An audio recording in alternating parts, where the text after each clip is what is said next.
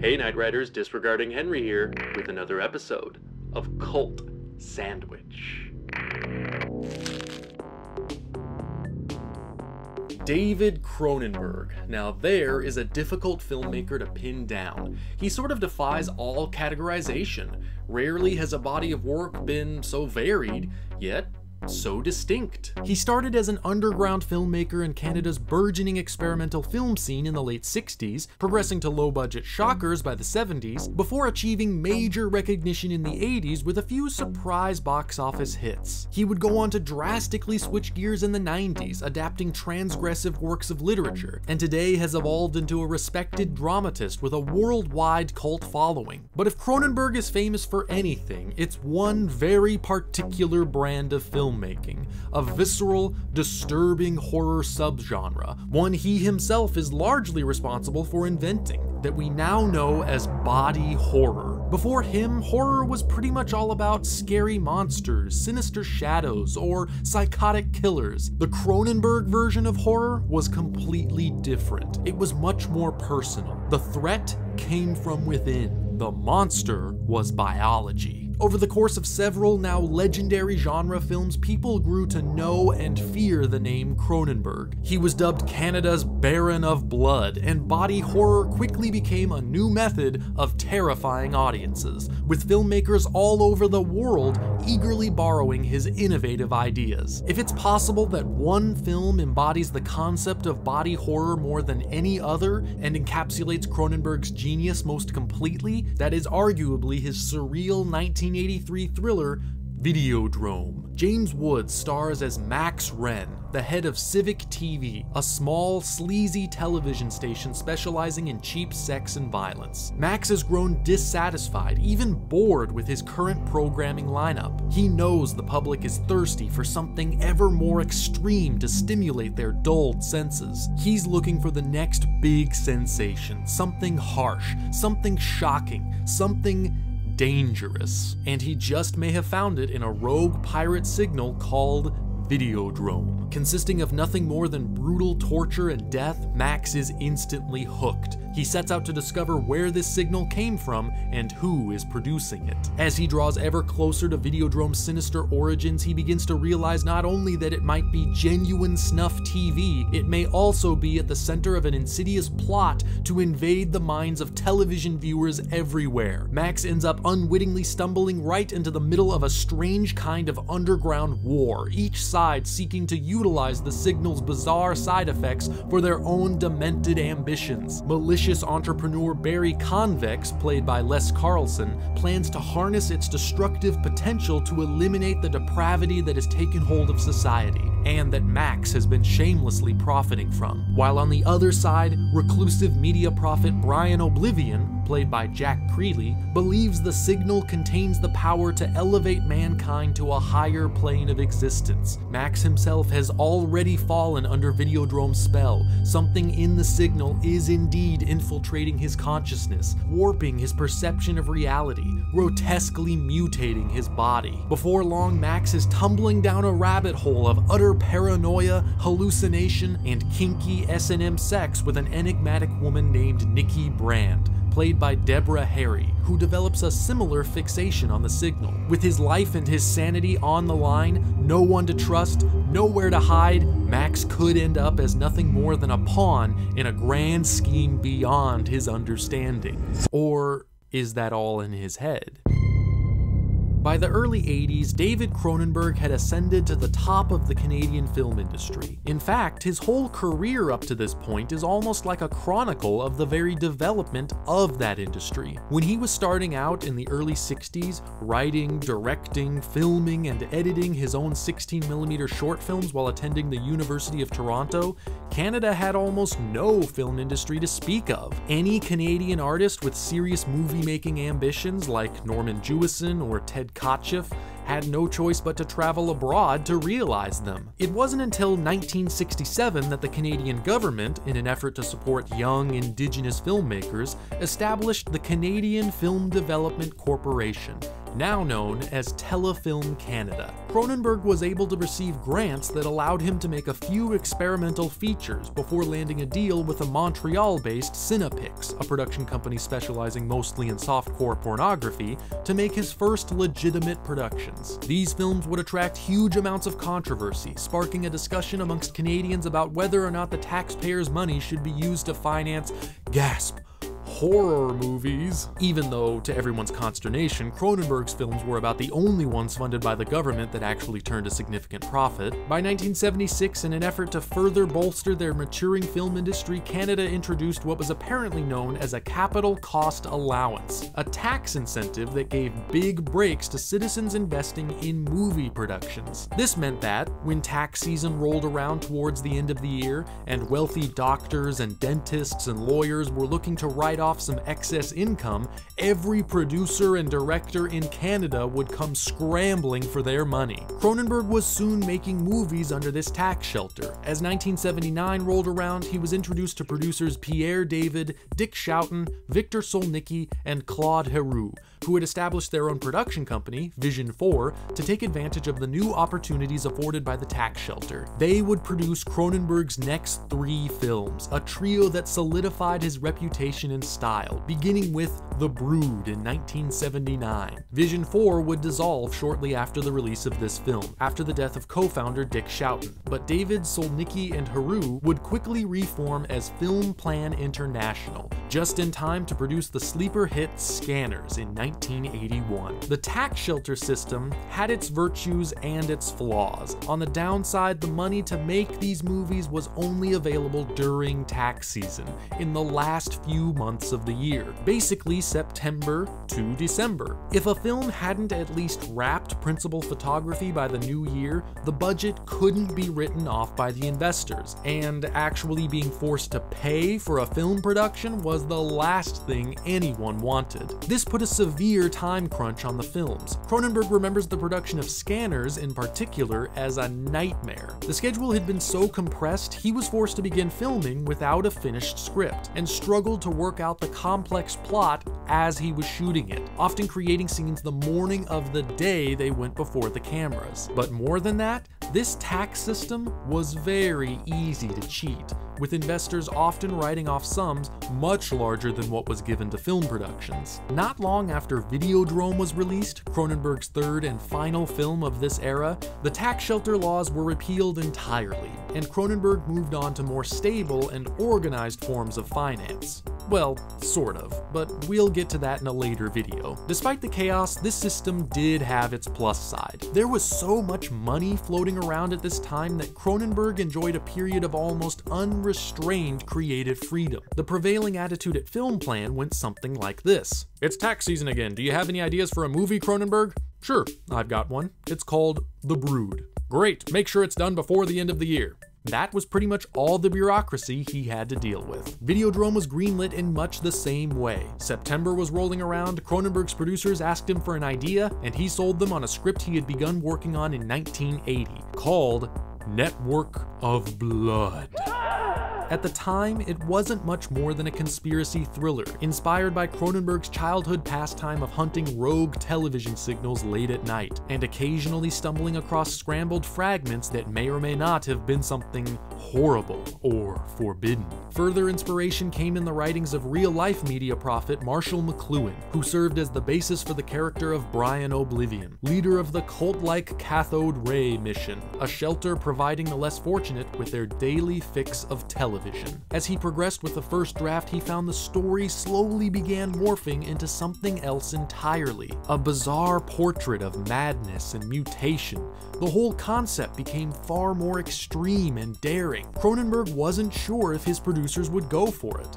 To his surprise, they loved it, and the project, now titled Videodrome, went right into production. Thanks to the success of Scanners, Cronenberg had attracted the attention of Hollywood, and this became his first film distributed and even partially financed by a major American studio. With a budget of nearly $6 million, his highest to date, Videodrome was far more organized than Scanners had been, but it still had its share of challenges. The first draft of the script was much more complex, ambitious, and graphic than Cronenberg thought he could achieve on this budget, or sneak past the censors of the time. It also didn't have an ending. He jumped right into a second draft, toning down the violence, the number of special effects set pieces, refining characters and story, but he still couldn't crack that ending. That didn't matter though, because tax season is tax season, and as he was forced to do with Scanners, Cronenberg started filming without a finished script. Principal photography took place in late 1981, in Cronenberg's hometown and favorite movie setting, Toronto, Ontario, Canada. Revisions on the script continued throughout shooting. The story was constantly evolving, with Cronenberg cutting scenes mercilessly to keep on schedule, including one that would have portrayed Max's television rising out of his bathtub like Venus on her half shell. Several other major effects pieces were created, then discarded as scenes were cut. The effects team's job was made extra tricky due to the fact that Cronenberg never uses storyboards, so no one was exactly sure what was going to be filmed, or how,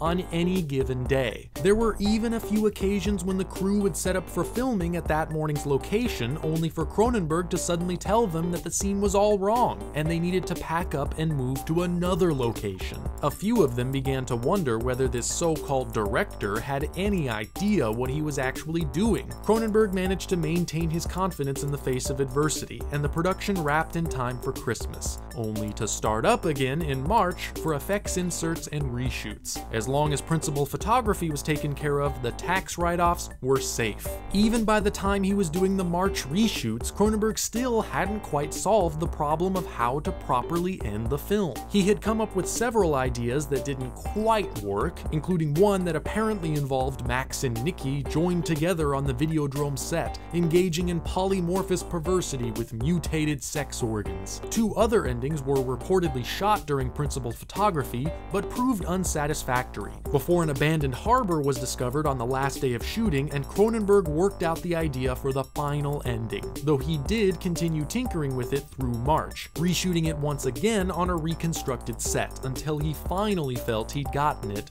just right. With the film at last finished, Cronenberg ran into a whole new set of hurdles. As his first picture distributed by a major studio, he found himself dealing for the first time with the mechanisms of Hollywood. Mechanisms like test screenings. Videodrome was previewed for an audience in Boston, Massachusetts, when it was still a work in progress, and it could have gone better. Cronenberg admits that it was partially his fault the screening was such a disaster. His approach to editing has always been to cut the movie as short and lean as possible. Sometimes too short. The version of the movie that was previewed was only 75 minutes long, and oblique to the point of utter incoherency. It was so bad, Universal Studios didn't even bother testing it a second time. Nonetheless, Cronenberg did find the experience useful, and worked to build the narrative back up.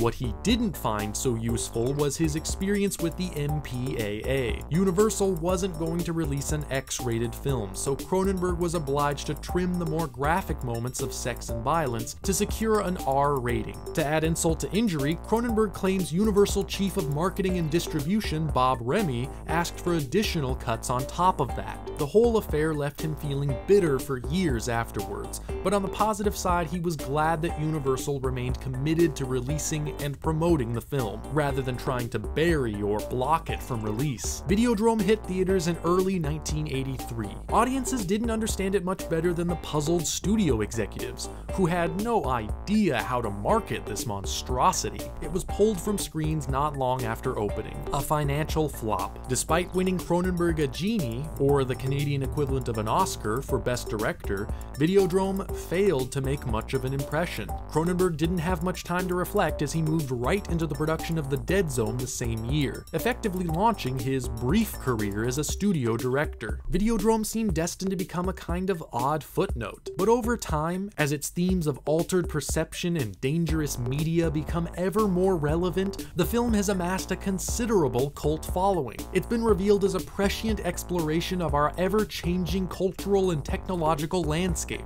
as well as a perfect summation of Cronenberg's perennial obsessions. In his world, thoughts and desires have an uncanny tendency of being made physical flesh. Technology functions as a literal extension of human anatomy, and aggressive diseases find new, creative ways to corrupt the mind and body. Videodrome explores these ideas in an extraordinarily visceral way, confronting us with intense imagery, rich in symbolism, and brought to life through incredible makeup effects designed by the great Rick Baker. Baker was fresh off his groundbreaking work on An American Werewolf in London, winning the very first Academy Award for special makeup effects, and attracted by the challenge offered by Cronenberg's surreal story. He had originally requested six months of preparation time to construct the many prosthetic pieces that would be needed, but due to the film's low budget and tight schedule, he only got two. Baker's team pulled out all the stops to achieve the unforgettable hallucination sequences,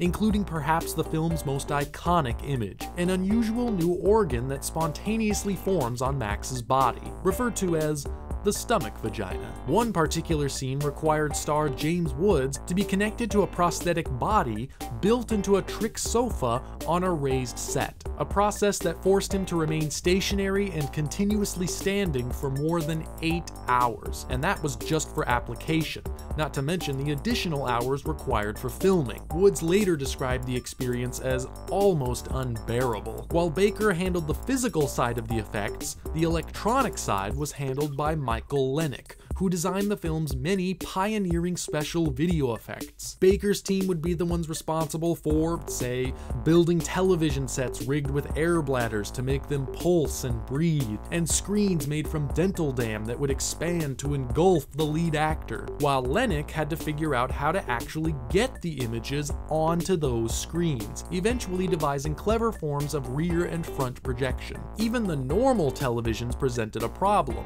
Camera shutters have a tough time capturing picture that appears on a TV screen, since video operates at 30 frames per second, rather than the film standard of 24 frames per second. Most filmmakers just add those images in later, using opticals, or today, digital effects. Videodrome, unconventionally, utilized full video playback on set, requiring Lennick, in collaboration with cinematographer Mark Irwin, to figure out how to modify their Panavision equipment so that the television images would be perfectly synced up with the camera shutter. Not all of the effects have aged so well, certain moments do betray Videodrome's low-budget origins, and the production design's clunky analog hardware will probably come off as a little quaint to modern viewers. But overall, the combined work from the effects team here is truly remarkable. Naturally, these were the days before CGI, so everything in the film had to be built and physically photographed. Plus, the gritty, retro 80s aesthetic only adds to the cyberpunk feel. Rick Baker himself has referred to this particular decade as the golden age of makeup effects horror films, where it seemed every year another landmark classic was being released that pushed the limits of what was possible a little bit further. Videodrome is especially distinct because not only is it not quite a horror film in the traditional sense, it approaches its effects psychologically rather than literally. This is a film about perception. It's about how easily perception can be distorted,